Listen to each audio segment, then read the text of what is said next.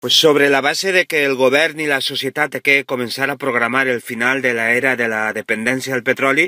i la búsqueda i la recerca de fonts alternatives, el que és veritat que en el nostre territori hem d'impedir, com siga,